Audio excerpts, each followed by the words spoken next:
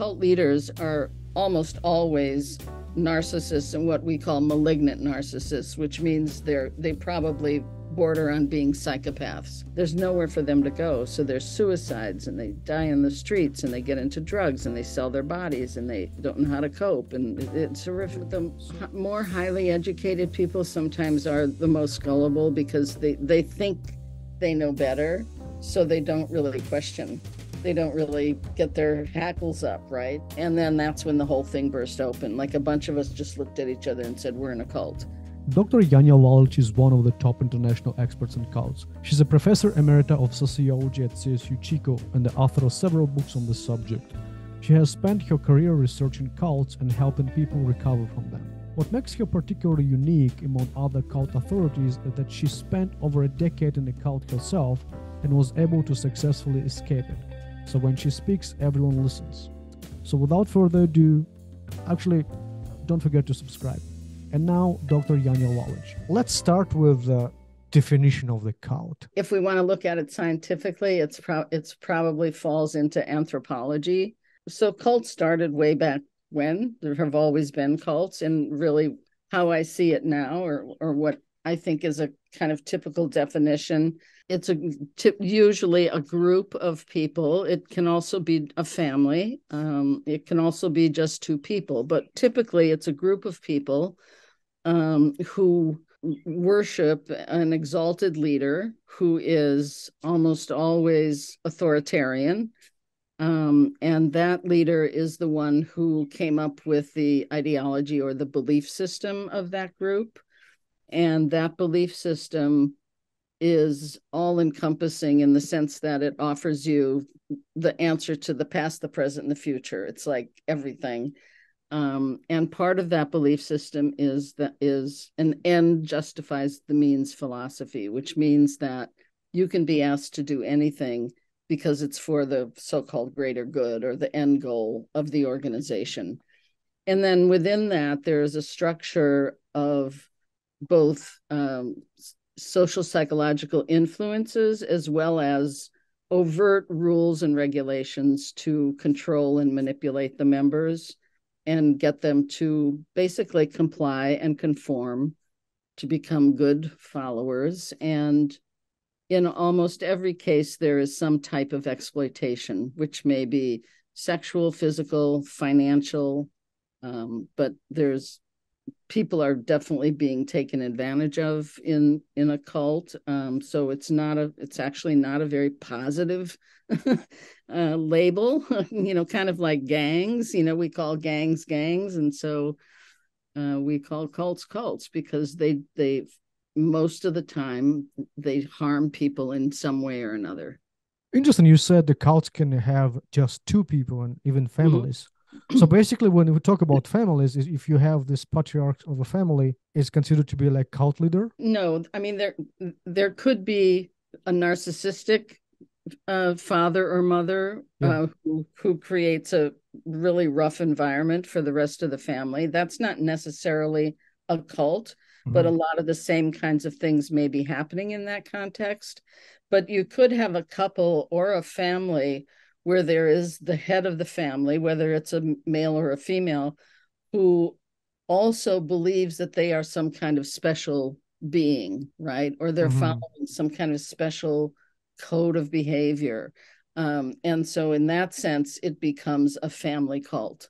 So the the examples we have from the ones in California, for example, was a guy in um, uh, somewhere in the Central Valley, forget which town, and he basically had sex with his own children. Uh, the the the um, family got bigger and bigger. They all lived together. Uh, he believed he was some kind of god, and the women in particular were very abused. Um, or there was another guy in Marin County, which isn't far from where we are, uh, who had many so-called wives you know these women he called wives he would send them off to work and send money back to him and w- when they had children the children lived with him and he kept two women with him to raise the children he was a black guy and all his wives were black except one who was white, and he always hated the child who was mixed race. And so one day he killed that child who was four years old. And the women wouldn't testify against him because they were completely enthralled with him. They thought he, again, was some kind of special being. So that would be an example of a family cult in this uh, case, this woman also start believing that he's special. It's not that j- they just terrified of him, right? Well, they are terrified of him, but they also believe he's special. um, you know, the, I mean, fear is fear is very much part of being in a cultic relationship. I mean, because the cult leaders are almost always narcissists and what we call malignant narcissists, which means they're they probably border on being psychopaths. So mm-hmm. they're very, they can be very mean and harsh and cruel. You are expected to love the leader, right? And adore him or her and worship, but also you're always walking on eggshells because you never know when the leader turns up if it's going to be the nice wonderful leader or the mean horrible leader right? So you're you're you're kind of living just on eggshells and in a constant state of anxiety um, while you're in the cult. And that's that's one of the after effects people are left with like just having been in this constant anxious state um, and and you know being terrified all the time. That's interesting because my view of cults was you, know these famous ones like scientology and etc etc i've never thought about the family being cult and you even said two people can be a cult like how does that work it's basically again one mm-hmm. person in the relationship claims to be special or have special powers, can read your mind, you know, can be all kinds of things. So the the the classic example was um, this couple uh, the his name was Joel Steinberg and her name was Hedda Nussbaum and this was back in New York I think in the 80s or 90s she had a child as in many domestic relationships he slowly cut her off from her family he had her quit her job he berated her all the time and made her feel like she was stupid. He was the big man who knew everything. Um, you know, he had special powers and they had a child. And again, in this case, the child died. And she ran out in the street holding the baby, and somebody called the police. He got arrested. He did go to jail. Um, and she was, you know, evaluated psychologically and and recovered very well actually, and became a spokesperson. But that was an example of a of a couple that's obviously a domestic abusive relationship, but had these cultic overtones because he brought a, a philosophy or an ideology into it. So abusive relationship where a person believes in in uh, his or her supernatural uh, abilities is basically a cult. Could be a cult, yes. This example would, to me would sound like a typical abusive relationship, but yeah, I wouldn't think about it as a cult, but now that makes sense. Is there like a profile of a person who tends to be indoctrinated into cult? Uh, no. So, uh, and wow. of course, this is a question I get all the time. Yeah. Um, you know, I've been doing this for 35 years and I myself was in a cult. So I'm not saying this just because I was in a cult. but um, if if there's a common denominator among people who join, it's people who are idealistic like people who hmm. want a better world or a better life, or even if it's more money or a better family or a better spiritual belief system, whatever. They get drawn into something, they get introduced to something, so that two thirds of people in cults are recruited by a family member, a friend, or a co worker, right? So it's someone you know brings you to the first event right? And that's all they need to do is get you to that first event. And then the cult recruiters are really good at what they do. And they do what we call love bombing and they make you feel really special and they invite you back and it all feels really great and hunky dory and they're your best friends. Mm-hmm. Um, there are personal vulnerabilities that can add to that um, but vulnerabilities aren't like an, a sickness. We're all vulnerable a thousand times in our lives, right? You're vulnerable if it's your raining. I'll be very vulnerable if my dog dies, you know, one of these days. I'm, you know, you're vulnerable when you move to a new town, when you graduate from college, you know, all these, or you just got divorced or whatever it might be. So it's often this combination of people wanting purpose and meaning in their life, which is a very human desire on top of being in a vulnerable space where you're kind of open to being snatched up, I guess is mm-hmm. how I'll say it. so it's really all kinds of people. And of course, cults will target certain people. They target rich people for sure because they want the money or they want the celebrity, uh, the legitimacy. Mm-hmm. Um, mm-hmm. They'll target A type personalities because you have to work for them. I mean, your job is to keep the cult going, whether it's to run the businesses or keep recruiting, bring in money, bring in talent, whatever it might be. So they are going to look for that type of person. And it's often that type of person coupled with the idealism that thinks they're joining something good. I mean, nobody thinks they're joining a cult, right? I mean, yeah. you think joined, you know, a group that I thought was fighting for equality, right? Racial equality, sexual equality, you know, get rid of poverty. It all sounded wonderful to me in the end, you know, we spent 10 years spinning our wheels and beating each other up and criticizing each other morning, noon, and night. And um, our leader would go off to Bulgaria to communist conferences, you know, and, and her dream was to get to Russia. So there you have it. But it's not what we thought at the start, you know.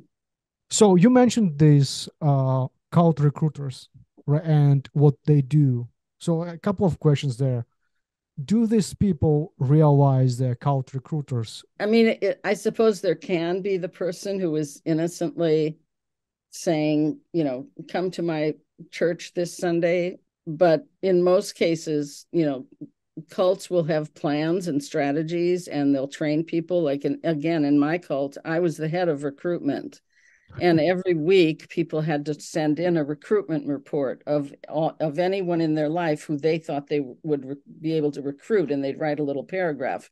And then i would go through that and decide which ones looked like prime targets and then i would go back to the militants and say okay this is the person we want to work on. Militants. So, yeah we, we called ourselves militant we were communists. Yeah we were militants. We were cadre. Comrades yeah.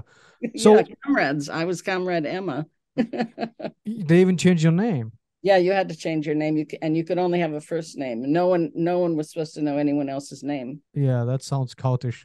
Okay. you were head of recruitment, so you probably did a lot of damage to a lot of people. I did. Yeah, and I felt terrible when I got out. Take me back to the actual beginning of like how did you end up on that cult? Like how, who targeted you? Who brought you in?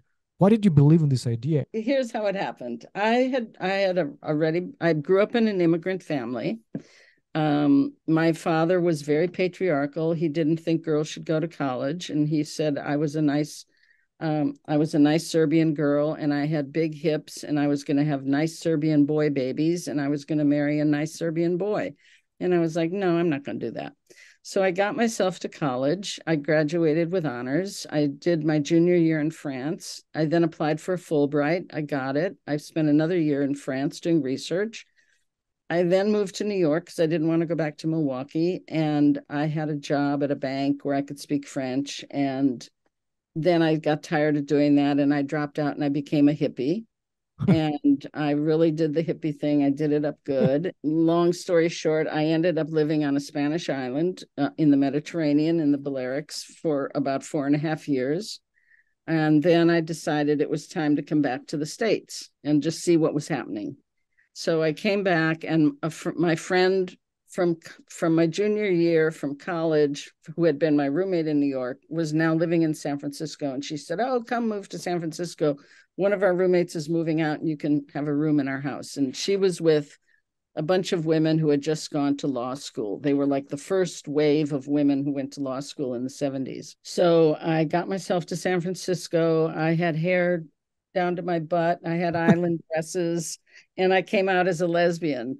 So I cut off the hair. I stopped, you know, bought blue jeans and combat boots. And anyway, so it was a you know a transitional time for me I'm, I'm sort of showing what the vulnerabilities were right i'm new in town i'm coming out as a lesbian and even though we lived in the castro district it was very scary i was 30 years old i was terrified people were going to like beat me up on the street or you know um, so that was like that my fulbright year in france was in 1968 when may 68 when france went on strike the whole country went on strike and so did the universities. And so that was a very political moment for me. It really helped politicize me.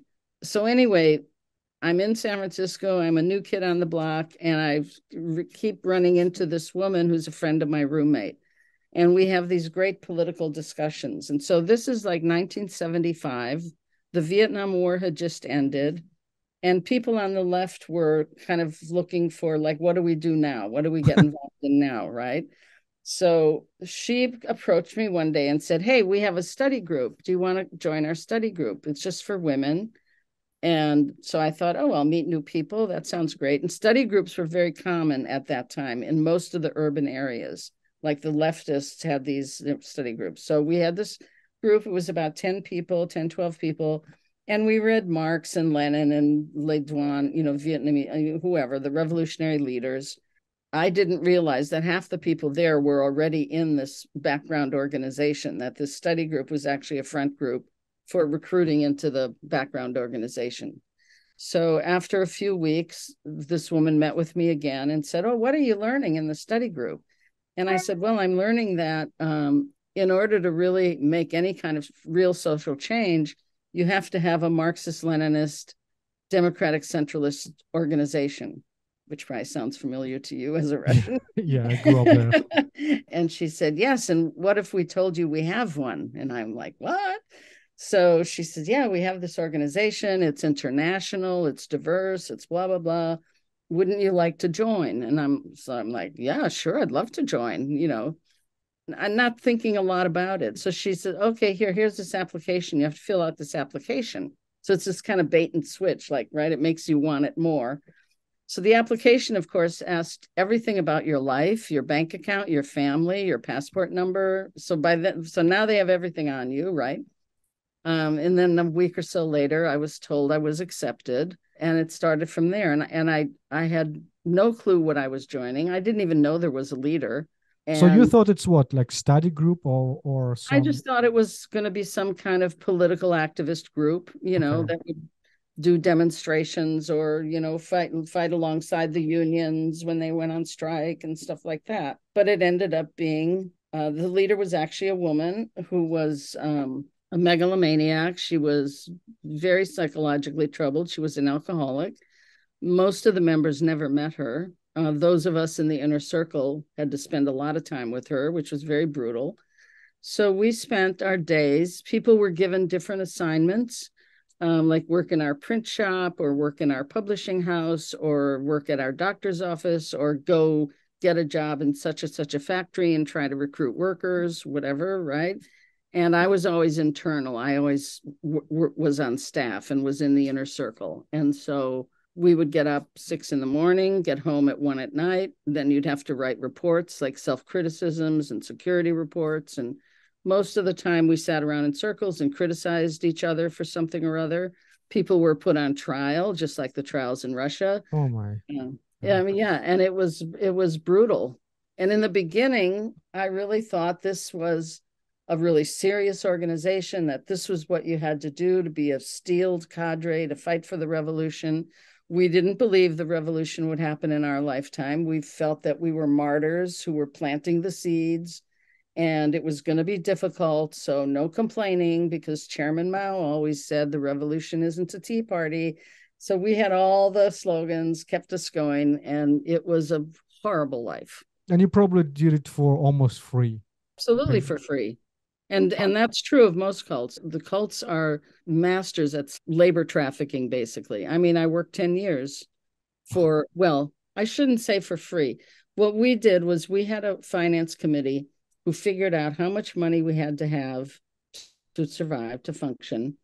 And everybody except the leader lived on a certain amount which was below poverty level. Let's say it was $500 a month. So if you worked a job you gave to the organization everything you made over $500 a month. And those of us who were full time were given $500 a month, which never was enough to live on. So we all lived like, you know, we'd cram eight people into an old Victorian in San Francisco and we'd turn the living rooms into bedrooms and the dining rooms into bedrooms. And, you know, and we ate crap food. And I mean, we never had time to eat anyway um, and you'd never had a penny for anything. So yeah, when I got out, I was 41 when I got out, and I had nothing. I had nothing. Well, you had experience that you that brought you. Yes, I had today, experience, right? and and in fact, I was lucky because our our crazy cult leader ordered me to uh, build us a publishing house.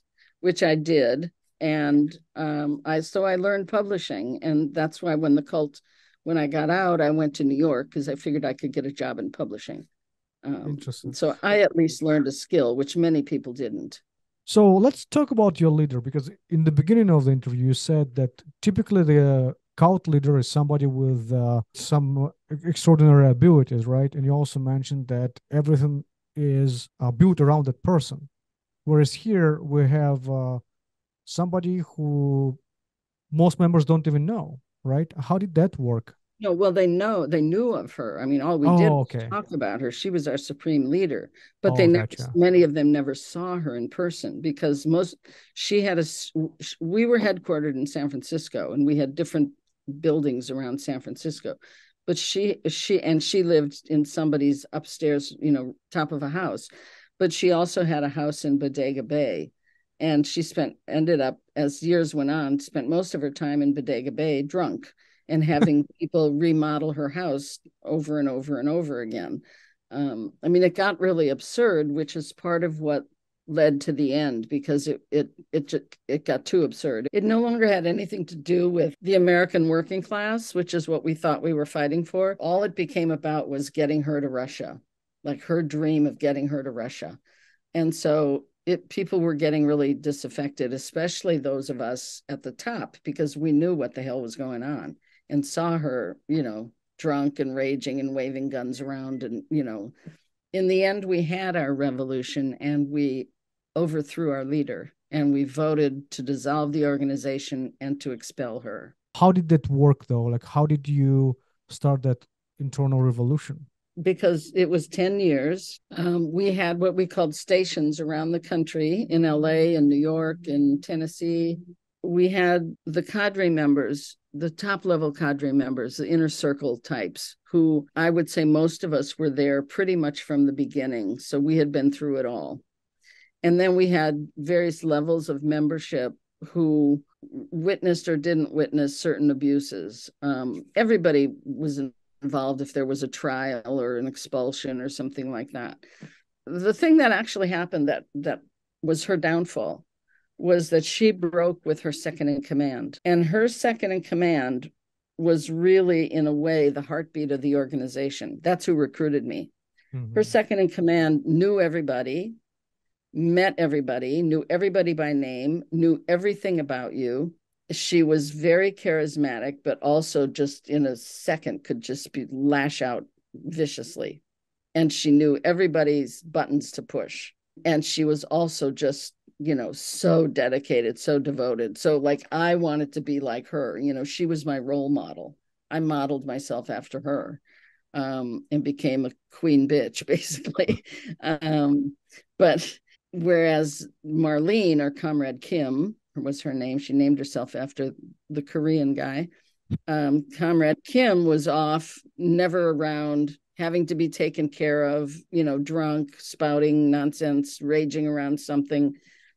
Whereas Rosa was on the scene with everybody. So at one point, I don't know exactly what caused the split, but at one point, Comrade Kim, the leader, banished Rosa to her house and said she could not leave her house and no one could visit her and no one could talk to her. But what actually started happening was that we did go visit her and and we all started mumbling amongst ourselves there's something not right here there's something not right here. And because Comrade Kim was off in Bodega Bay, which was miles away, um, you know, you knew she wasn't going to pop in the room while you were sort of whispering with each other. So, so various people in couples, not not couple couples, but a couple of people here, a couple of people there, a few leaders there, started rumbling and mumbling, and then she left the com- comrade Kim left the country to go to Bulgaria because that was her dreamland. So she was off in Bulgaria, and then that's when the whole thing burst open. Like a bunch of us just looked at each other and said, "We're in a cult."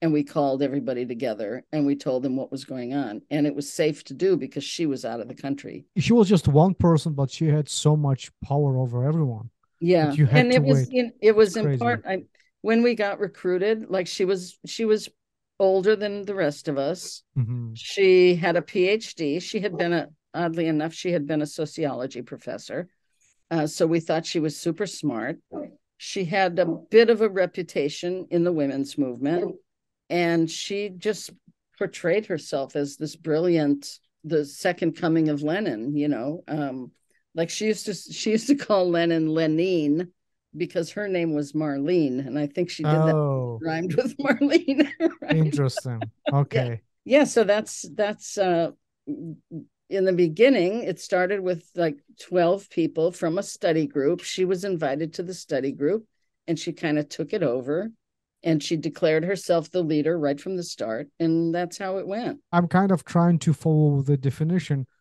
So the cult leader doesn't have to have a supernatural uh, natural abilities, but can be somebody the smartest one in the room, basically. The smartest one in the room, like Keith Raniere, if you know about the NXIVM cult.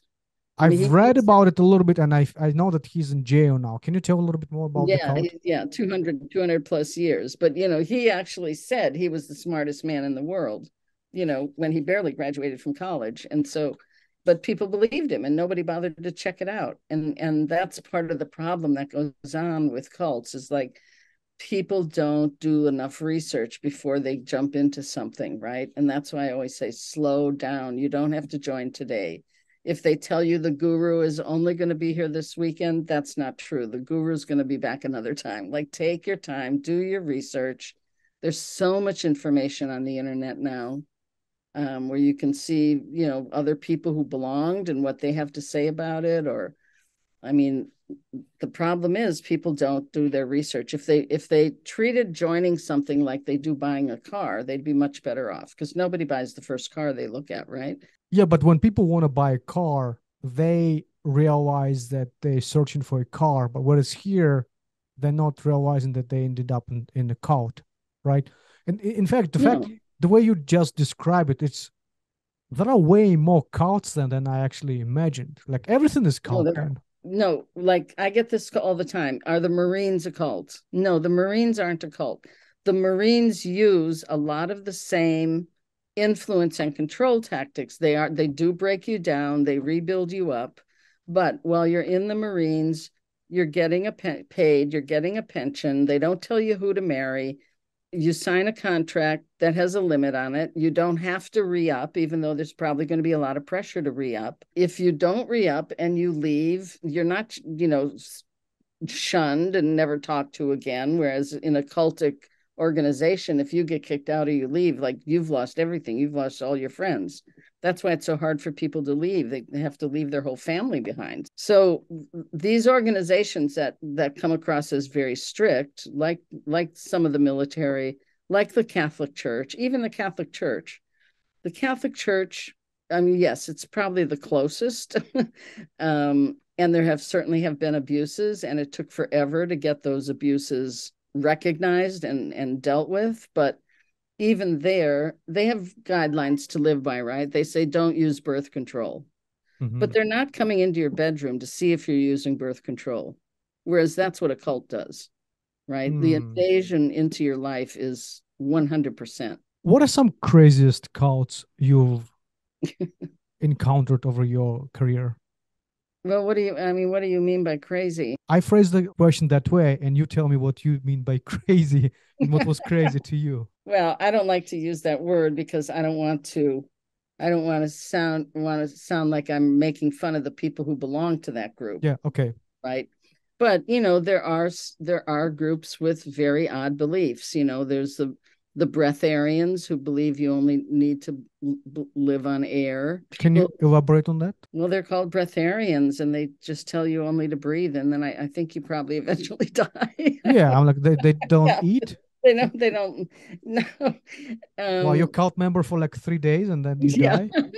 and then there's, um, you know, ones like the these people who say they channel ascended beings so there was like Ramtha, the woman up in Washington, who said she channeled this like 50,000 year old being, and she would like talk in a really low voice when she was channeling him, and she would give you financial advice. And people paid thousands to listen to her, and you know, and I, you know, I guess one person's crazy is another person's spiritual belief. I mean, yeah. who's to say? I mean, I, I, it's not about judging the belief system. I mean, what what I look for are the behaviors of the group. like the structure and the behaviors and how are the members being treated. I don't care what they believe in. What are the biggest cults, biggest known cults? Well, the Mormons, the Jehovah's Witnesses, to some degree Scientology. On on on some level, you can't really believe statistics that the group gives you because they're always going to inflate. Um, I know we did, you know, like we had newspapers and we'd say, oh, we sold, you know, 10,000 newspapers when we probably sold a thousand, you know. The Unification Church, uh, which was called the Moonies, um, they were very big for a time. And now, since he died, there's kind of these three offshoots it depends on the on the on the decade you know children of god which was really big in the 70s and 80s 60s 70s 80s um, was very big was all over the world. I'd have to tell you uh, like i said i've been doing this for 35 years and every day i hear of new ones like that i haven't heard of. It's interesting but of all you mentioned the mormon church almost not considered to be cult. It's almost like mainstream. Because fact, because they're so wealthy Okay, yeah, maybe that's the thing. But Scientology is not not uh, poor neither. No, but Mormons are in very influential positions in local and federal governments. And I think for Mormons, I mean, I think some of the beliefs are quite extreme that people don't know about. Mm-hmm. And I think it really matters a lot on your family and how much your family is enforcing you know, the actual things you're supposed to do. Um, but like you know when the when the boys go off on those missions for two years they get sent somewhere in the world and they have to fend for themselves. I mean that's really their their real indoctrination period. Have you seen the book of mormon? I've, I've heard about it but interesting like i've met first americans those are mormons in my little town in, in russia. Only later i realized that they're mormons actually when i came here. Like oh that's what who the guys were. Very nice guys they were uh, yeah but when I think about cults, obviously they're tragic for people who join them. But I think the more tragic is for kids who got born into them. Oh, absolutely. How do they cope with it? How do they can they even leave a cult? No, it's horrible. This is and this is the big population that that we're serving right now in my uh, my nonprofit for the past decade or so. The people who were born or raised you know, from a young age in a cult, and they get out. Many of them get out. They don't even know their real name. They don't know if they have a birth certificate. They don't know if they have any relatives on the outside. They don't know where to go. They don't know anything about our educational system, like if they could get a GED or to drive a car or to get a computer. The more like isolated the group was, uh, and the more enclosed, the, the, harder it is for those ones who leave, no matter what their age. My latest book, um, I interviewed 68 or 69 people who grew up in cults and from 39 different cults. And the stories just broke my heart. I mean, I, I, I would finish an interview and I would just like flop on my bed and cry. I mean, it, it was heartbreaking. And the sexual and physical abuse of children is rampant. It's horrific it's all under the radar because most of these cults homeschool, which is why I'm very against homeschooling because it's really not regulated and anybody can say they're doing homeschooling. And really in the cults all they do is teach the leaders nonsense, right? They don't, you know, they come out sometimes they don't know how to read or write. I mean, it's just horrific. Uh, it's horrific. And I just had a meeting about this today. It's really like an unrecognized public health problem as far as I'm concerned. And we have no resources no resources they can go to a domestic violence shelter and they'll get turned away because they don't they don't fit the criteria there's nowhere for them to go so there's suicides and they die in the streets and they get into drugs and they sell their bodies and they don't know how to cope and it's horrific how did you find the 69 people well i i you know i'm fairly well known um, uh-huh. I mean, it was actually the last project I did while I was teaching. Um, you know, I was a professor at one of the, at California State Chico. I just put the word out. There, there are various websites. Like there is a website of Kids of Scientology. There's a website of Kids from the Children of God. A lot of these people have started their own websites. So I would just post wherever I could I'm looking for research subjects for this, this, and this. And if you, you know, know anybody else or if you're interested, contact me. And then I would interview everybody and make sure they fit the criteria. And um, you know, it went through the university ethics board and all of that. So it wasn't hard finding people, really. People you spoke to, obviously they realized they were in cult. Are they were they trying to get get out of it or not necessarily? They were all out of it. The ones I interviewed were all out. Yeah. And they left at different ages. Some left at 16 and just ran away or whatever. Uh, or went to some they did know they had some relatives somewhere so they went to grandma or aunt to whoever. Some were 40 when they left um, and still had huge issues of of trying to adjust to regular society because mo- you know the like I said the more isolated or sequestered the group the more you know I mean every one of them every single one of them said when I got out I felt like I landed from Mars like I felt like I was from Mars like I felt like an alien I felt like people were staring at me I didn't know what to do um, I felt a little bit of that when I left my cult after 10 years but I had had a life before that, right? I was 30 when I joined. So I had friends, I had family I could go back to. These people leave, they're usually cut off from their whole family. They don't know if they'll ever see their family again.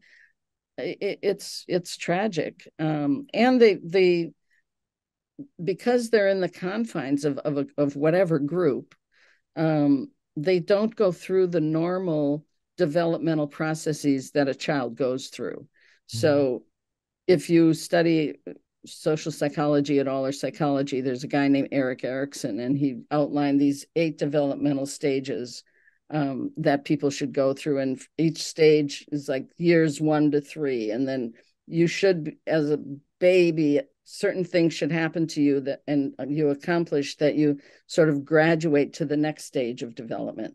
But when you're in a cult, you're not going through those normal stages because everything is imposed on you you're not finding your own way. And certainly when you hit the adolescent and teen years, which is when normally we're figuring out our own identity, right? What do we like? What do we don't like? Are we going to smoke a cigarette around the corner? Are we going to hang out with the rough guys or the pretty girls, right? That's like you're feeling out who you are, who you want to hang out with. They don't get to do that. So they come out of the cult, they could be 25 years old and they're really functioning like a 10 year old because they never got through the normal developmental processes. It's really one of my biggest issues right now. How do these people you interviewed realize they were in cult and how did they escaped? Well, some ran off in the night. Sometimes they went with a spouse. Most of the time they left on their own. And most of the time they just ran, you know, wherever they were, they just left or you know, occasionally they left with with the parents, but very very rare. Many I'm of them have never reconciled with their parents, never seen them again. I'm guessing they escape the abuse, not necessarily they, because they don't understand. They probably don't understand the idea of cult while being in the cult, right? No, because no, they have no, nothing to compare it with. Right. Although it depends on what how how well known you are and what publicity there might have been, like like with Children of God or with the Fundamental Latter Day Saints um, you know, some of those groups that were raided by the authorities because there were, um, you know, reports of child abuse or whatever. In those cases, like sometimes the children were taken out and people tried to talk to them, but in most cases, they ended up having to get sent back. But kids seem to have, I mean, this was something I really tried to research when I was doing this, writing this book, because I think all of us have some level of resilience, just a native resilience that we're born with. And then how how that develops, I think, is just a nat- personal thing, how that happens. And so I think some children are more resilient than others. And often while they're in the group, they, they realize something's not right. I mean, if you're being beaten every day or you're seeing other people being beaten and sexually abused, I think it doesn't take much, even for a child, to think this is something. This doesn't seem right, even though you don't know anything else. And often the kids are separated from their parents, and sometimes the kids all live together. So then they get to kind of talk with each other, right? Mm-hmm. And sort of, what do you, you know, are you, you know, can, can we think we can get out of here? You know, so it's a wonder any of them get out, but they do, and they succeed. I mean, mo- most of the people on on my team of with my nonprofit were were people who were born and raised in a cult and they're brilliant they have college degrees now So they do thrive. They do su- survive and thrive depending on the help they get. And but they still have that trauma. I'm sure that's kind of gonna Oh, harm them for trauma. life. That's oh, crazy. Oh crazy. yeah. I mean, she was in a very strict fundamentalist thing with her family. She was sexually abused starting at age three. I mean, you know, you can't even imagine the abuses. I, am I ruining your dinner? no, it's, it's just like it's interesting. Like when you, I don't know, I have three year old kid, and when you said three year old, I'm like I, I just can't imagine like what No. what uh I, I agree with you. I'm I'm myself I'm shocked. I mean, every day I hear new stories almost every day, but also I'm like and you even see it on social media, you know, this this pastor, that pastor, this place, that place. Like the number of pedophiles in this world seems phenomenal. It's like how, well, what is that about?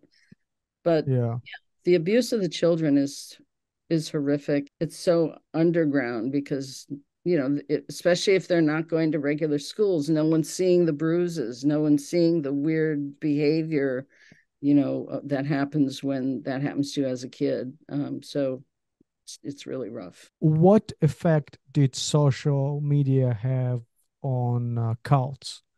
Did it make Well- it easier to recruit, or it make it did it make it easier to expose them? I, it's really been a mixed bag. I mean, it, obviously, a lot of cults started using using it for recruiting and still do, and even more since the pandemic. And now we even have completely internet based cults, you know, which we never had before. But as I was saying earlier, there's there's also so much information on the internet. You know, like if if you're thinking of hiring a coach for your marriage or you're thinking of i don't know what you can just put in that person's name and then say plus cult or plus criticism and you'd be amazed at what comes up and so social media has really i think almost benefited us more than harmed us and then also recently i'd say m- many of the documentaries that have come out are much much better that they aren't just sensational like jonestown Mhm. you know taking advantage of like the most awful things that happened as though you know not every cult is going to end up like a jonestown. And so lately i'd say again like i'd say the last four or five years the documentaries have gotten much more sensitive and well done and really honoring uh, the stories of people who were in those cults and who were able to leave. And and i think that has helped. For people who realize that their loved ones are in cult, hmm it's almost counterproductive to tell them they they're in cult. yeah right? you don't know you don't do that How do you how do you pull them out of it? Well, you can't really pull them out of it. They have to pull themselves out. So, uh, depending on the situation, you know, what I always say to families is don't be confrontational, keep the conversations neutral, try to do, if you're able to see the person, try to do fun things together. Or if you can, you know, if you can send emails or letters or whatever. I mean, every situation's different, but you know send them a box of their favorite cookies or just things things that are happy things that'll bring up happy memories you want to sort of tug at the heartstrings right and remind them that there there really was a life before and that there are still people out there who love you because you'll be told you know everybody out there hates you and they're against your achieving your enlightenment or whatever it is right? So i always tell families like be that safe haven. You know leaving a cult is really really difficult. So if you know you have a safe haven to go to where they're not going to question you they're not going to say see i told you not to join that group. You know like just Yeah. the person sleep feed them whatever. You know if they know they have something like that then they might leave sooner rather than later you know there are people who do interventions and i think that's a mixed bag and it also costs an enormous amount of money and it can make things worse so um you know that's a, again really for a family to decide One exercise I wanted to do with you, and I'm just curious how you're gonna do it. Let's say you decided to create a cult yourself. Walk me through the steps you would go through. What type of superpower or whatever you're gonna assign yourself? How are you gonna recruit the first person who will believe in your nonsense? and how are you going to go about it well i don't know i guess if i if i'm a superpower if i think i'm a superpower uh, i don't have the time to think about how think this through but basically i would want to recruit at least one preferably two or three people who really believed in me and really believed in what i was promoting because then they're going to do the work of recruiting the rest of the people. Most cult leaders are pretty lazy and they don't do very much. So they might appear every now and then and give a speech, but mostly they're just sitting on their laurels. So I would want to recruit some really, uh, really strong people with good personalities and um, the ability to like talk, really talk heartfully with people and um, be be able to be you know have a good read on people. And then hopefully they'll recruit some people and then we'll go from there and we'll set up a structure and we'll have different levels of leadership and accountability. And and um, i'll sit in a big chair and they'll bring me food and and uh, bailey's irish cream. And then you know it'll go from there why would people with these strong personalities follow you? Like because they're idealistic? Yeah because they're idealistic and and um and they they like what i'm what i stand for right? So if i tell them i'm a child of of the star orpheus and i have you know been sent here to find the best and brightest people so that we can affect real change in the universe and that, that that's really important and and I have a book here that they could read that explains my whole philosophy. The book who that you would probably write, right? Something. Yeah, I would probably write a book since I mean I've already written six, so I guess I'd write another one. and you said earlier you were the recruiter for previous cult and you were kind of filtering who you should or target who you shouldn't like how did you decide who should you should target? You know you look for people with the least amount of attachments. So preferably someone with no children preferably even single people unless the the unless it's a couple and for some reason they're very strong and they have good ties and they could maybe bring in money or bring in other people. But i want people with not many ties. I want people with with either money or skills uh, who you know who can bring that to the group, like an attorney or a doctor or you know somebody with a PhD. I mean, we recruited all people like that, people with PhDs, doctor. We had doctors' offices, we had a research institute, we had all this baloney. Um, and then also you want worker bees, so you want to recruit some people who are just really hard workers who believe in the cause and who will work morning, noon, and night for nothing how weren't you afraid of bringing lawyers and uh phds because to me it's like oh they're gonna read through my bs they don't. Actually the the more highly educated people sometimes are the most gullible because they they think they know better so they don't really question. They don't really get their hackles up right? And they sometimes get get taken easier than others. Well that's they wild. think they're better Maybe a last question. Maybe you could tell me a little bit about your nonprofit. So uh, last year I started the nonprofit. It's called the Lalich Center on Cults and Coercion. And so the website is www.lalichcenter.org. We have a temporary website right now because we have a company that's building our final big deal website. Mm-hmm. And we offer um, everything at this point is virtual. Um, so we do classes on Zoom. We do courses, we do discussion groups, we have discussion groups for survivors, you know, cult survivors or narcissistic family, whatever. Um, and then we also have an, other discussion groups that are just for people who were born or raised in the cult because they have different issues. Um, I'm hoping soon to start a discussion group for gays, people who either were gay while they were in something or thought they were or whatever, and obviously probably had some issues. And then also, um, we'll be starting a group for families um, and friends, people who have someone in a cult, because many of them feel so lost and they have no one to talk to and their neighbors are tired of hearing about it. So it's nice for people to meet each other that way. We've done writing workshops and we're going to be doing a music kind of a music therapy workshop, um, an art art workshop. We try to keep our prices really low. Like the discussion groups are $25. Yeah. The courses, depending on how long they are, like if it's a five session course, it's probably going to be about $250.